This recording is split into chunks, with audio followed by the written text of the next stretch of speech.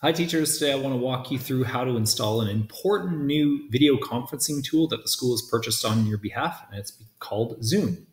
So what we're going to do is come up here to the search bar and let's look for Zoom Chrome extension. There it is. And see what comes up. So this first one here that says Zoom Scheduler, that's the one we're going to click on.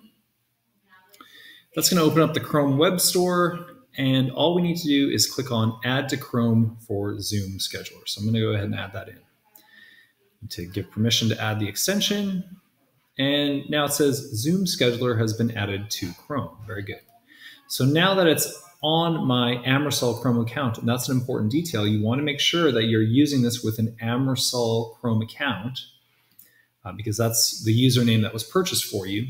You're going to click on the little extension. It looks like a little blue old school video camera and sign in with Google. And you're just going to use your Amersol um, credentials and then you're in. So now you should just be able to click and schedule a meeting. Hope you found that helpful.